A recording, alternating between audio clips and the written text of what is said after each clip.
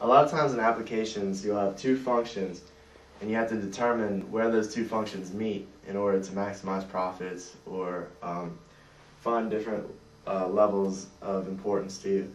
So what we want is we're given this this graph here, here's y1, our first function, and then here's y2, and we want to know where they meet, so we want to know this intersection point right there. So the way to get that is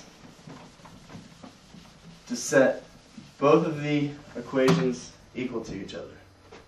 So we're going to take this part of the equation, the actual function, and set it equal to this, this part of this equation.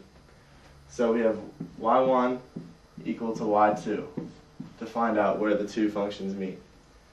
So y1 is 1 half x plus 1 from up here, and y2 is 3 halves x minus 1.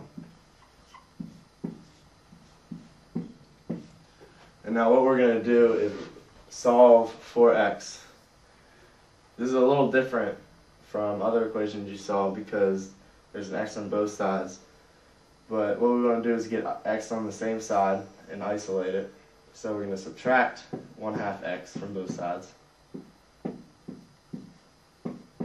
And at the same time, we're going to take this 1 and add it to this side so that we just have x's on this side and then number on this side. So if we add 1, cancels this out, and these two half x's cancel out. So we have numbers on this side and x values on this side. 1 plus 1 is going to be 2 equals 3 halves x minus 1 half x is just x.